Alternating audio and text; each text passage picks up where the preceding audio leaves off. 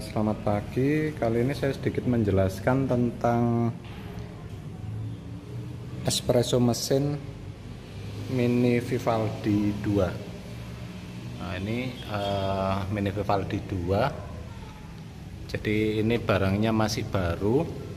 Biasanya untuk pengoperasian mesin baru uh, baru buka segel ya.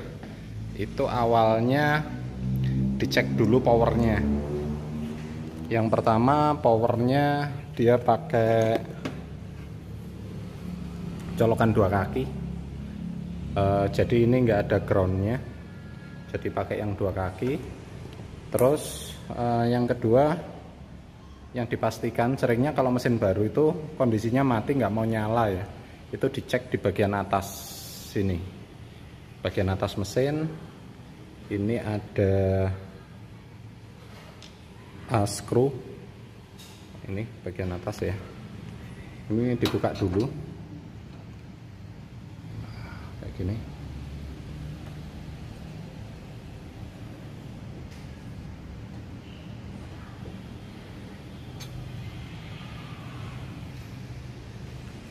Setelah kebuka ini bisa diangkat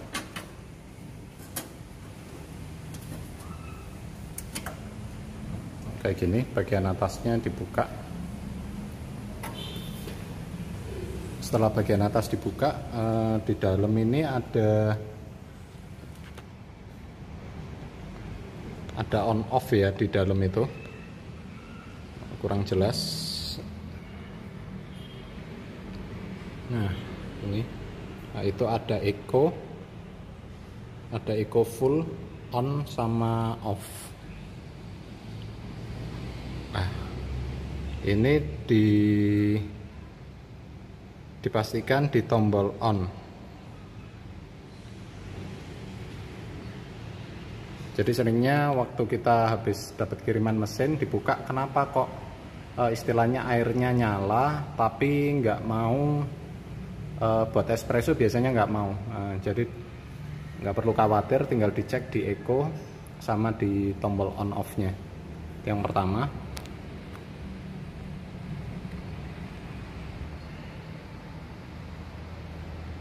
Eh, terus yang kedua ada beberapa bagian. Ini pembuangan air. Jadi di bawah ini pembuangan air.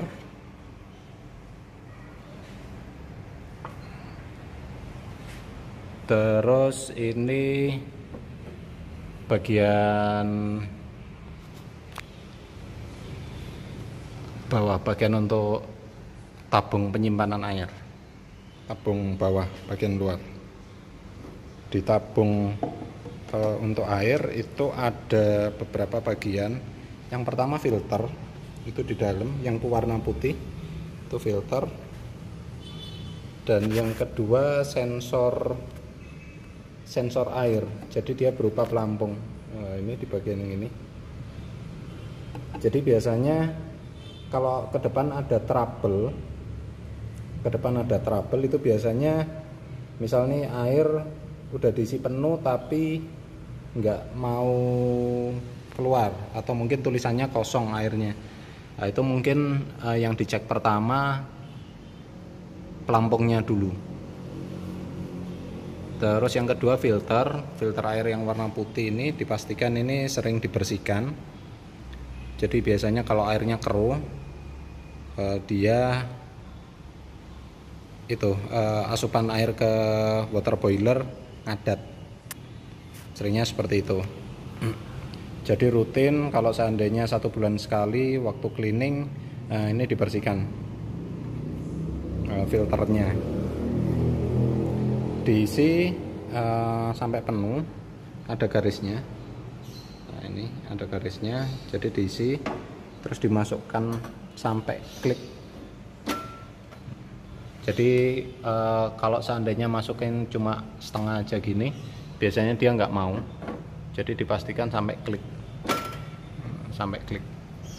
Karena di sini ada uh, katupnya. Jadi ada valve di sini. Ini yang nyambung harus sampai nyambung ke bagian dalam. Sini bagian dalam. sini.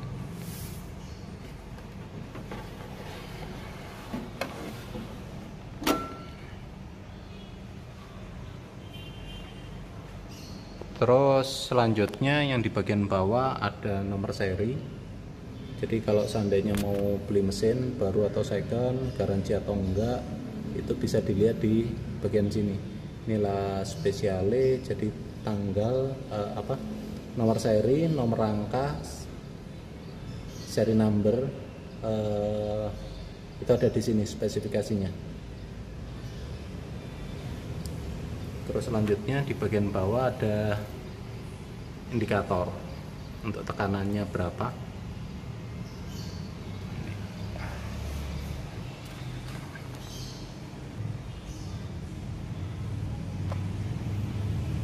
Kemudian uh, setelah water tank dipasang sampai klik ini water tray-nya baru dipasang. Ini juga harus sampai masuk ke dalam. Jangan setengah-setengah karena di sini dia ada saluran pembuangannya. Nah ini air dari keluar uh, sorry air dari dalam sisa pembuangan dia masuknya ke sini. Ini harus sampai masuk ke dalam jadi bisa dilihat dari sisi kanan atau kiri dia harus rata kayak gini. Kalau air udah uh, kepasang uh, air udah diisi water tank udah diisi air penuh baru nanti siap dinyalakan.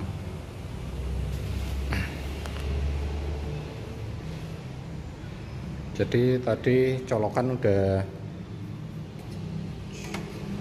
colokan udah kepasang di sini.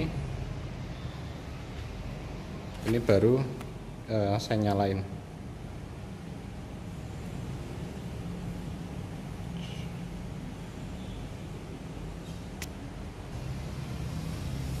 Jadi waktu uh, mesin dinyalain itu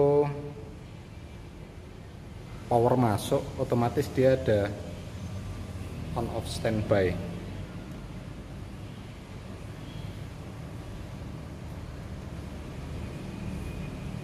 tinggal dipencet lama sekitar 3 sampai 5 detik.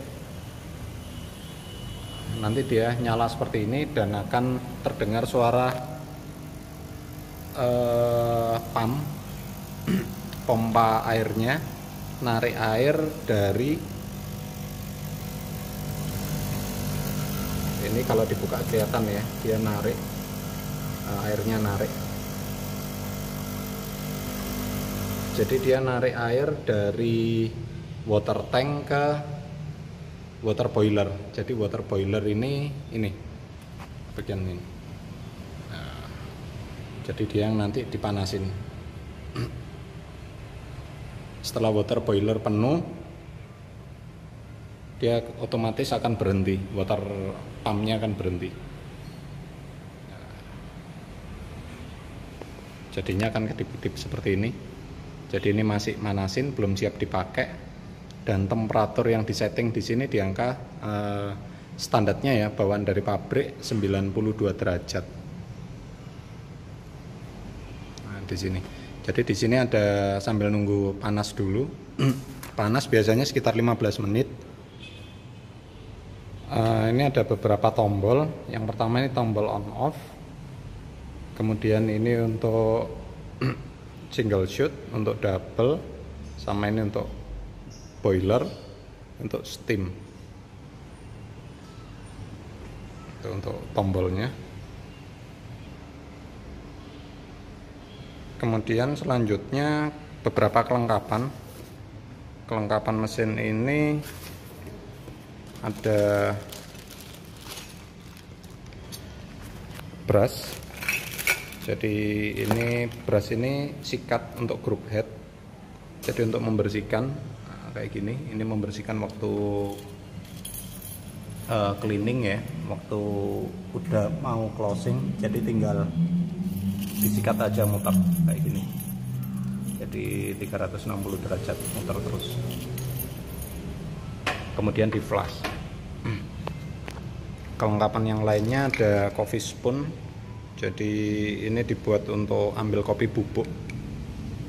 Bentuknya seperti ini.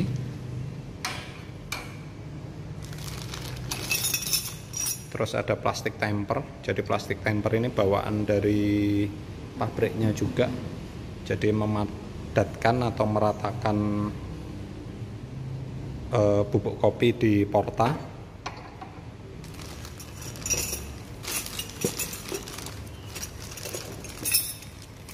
uh, terus kemudian ada filter basket. Filter basket ada dua. Uh, yang pertama single. Single ini satu shoot espresso. Ukurannya sekitar 9 gram.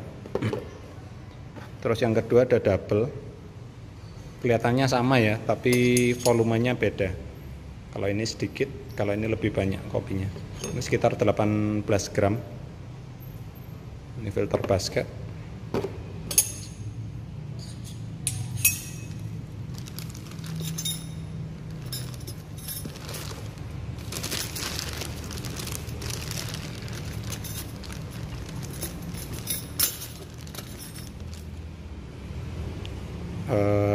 kemudian ini porta. Jadi ada kelengkapannya porta.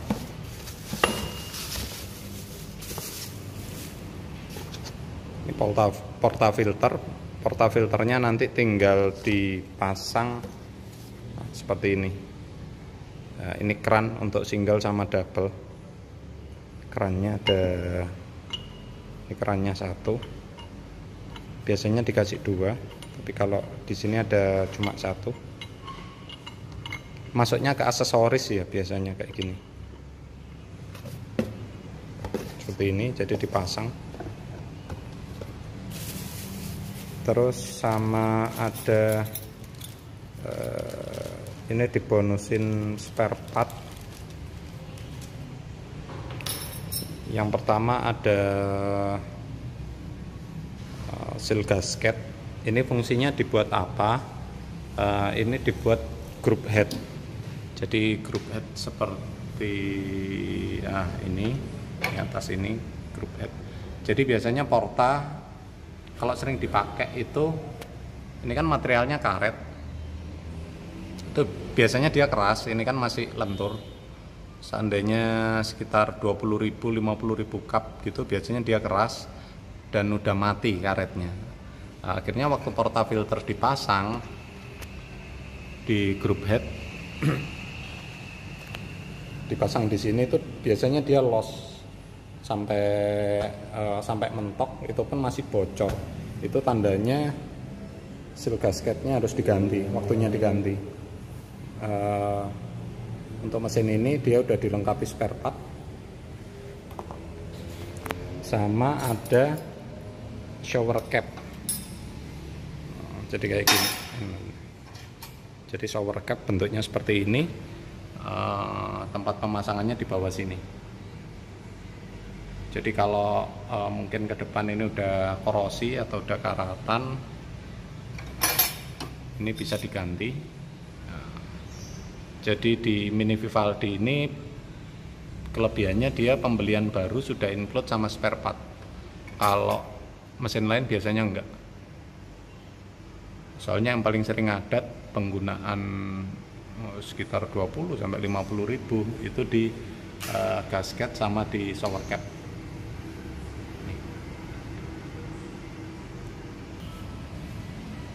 Uh, terus selanjutnya untuk pasang filter basket yang double ke porta tinggal dimasukin aja kayak gini ya jadi dipastikan uh, banyak yang sering tanya kok nggak bisa nempel gampang lepas? Itu seringnya ini ada ulit ada kayak kawat. Kawatnya ini lepas atau hilang. Kalau seandainya ini saya lepas ya kawat sini ini dipasang ya cuma masuk keluar bro. Bisa dilepas. Jadi memang harus ada uh, kawatnya seperti ini. Ini bawaan dari pabrik kalau mungkin teman-teman uh, ininya hilang sebenarnya bi bisa custom sendiri dari kawat. Nggak perlu beli kalau beli mahal. Ini. Jadi ini dipasang dulu ya di dalamnya.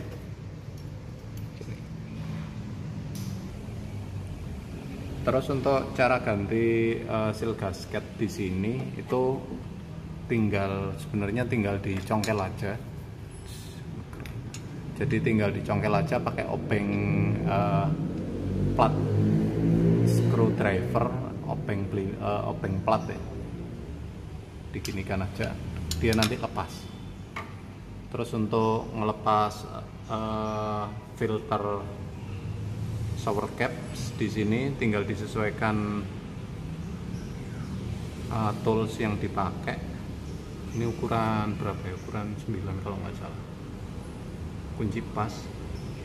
Nanti bukanya counter clockwise jadi melawan jarum jam sini.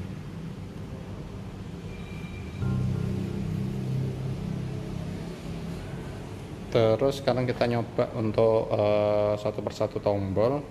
Jadi ini untuk steam ya. Steam posisi ke atas. Uh, dia keluar asapnya terus ini untuk sebentar. Terus ini untuk bikin espresso.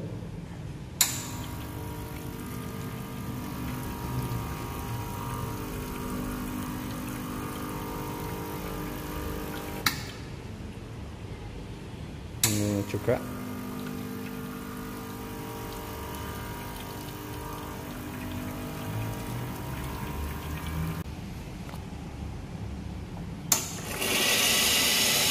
ini untuk tombol uh, air panas. Uh,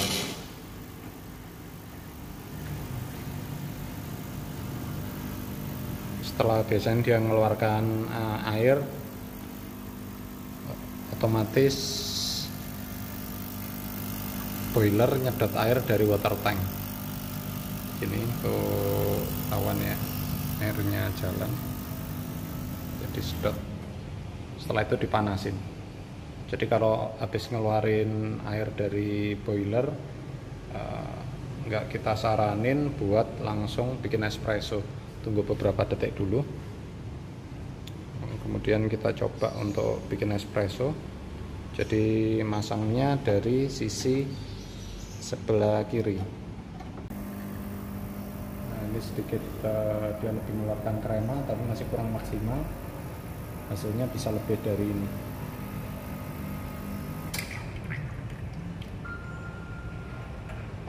Seperti ini. Ini sebenarnya masih bisa lebih halus lagi biar hasilnya lebih maksimal. Terus untuk setelah bikin uh, espresso uh, dipastikan biar group headnya nggak gampang kerak dan kotor itu di uh, buang di flash sebentar masih dia masih masih. Dan pastikan uh, porta jangan terbiasa setelah pakai udah dibiarin gini aja ya kan banyak nih barista yang cuma dibiarin. Jadi dipastikan dilepas dan dibersihkan. Setelah dibuang juga sama, sama kain kering terus kalau seandainya mesin dipencet kayak gini ya. Ini dipencet diem aja kok nggak jalan?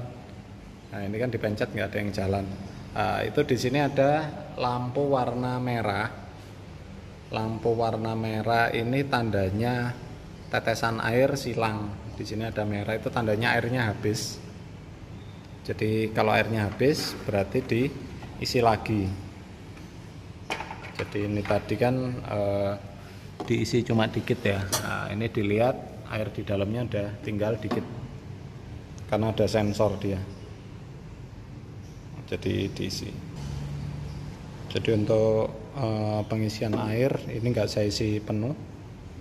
Ini sebenarnya harus penuh sampai atas. Dan untuk penggunaan air uh, saran saya jangan air kran untuk penggunaan air yang baik buat segala jenis mesin uh, logam ya material logam itu yang kadar mineral tinggi uh, sorry kadar mineralnya rendah. Untuk kadar mineral rendah itu biasanya ada kalau brand ada Cleo atau Amidis. Itu kenapa banyak dipakai buat mesin? Karena dia kadar mineralnya rendah jadi nggak mudah kerak. Kalau mungkin pakai alat uh, untuk water filter yang standarisasi dari SCA itu pakai BWT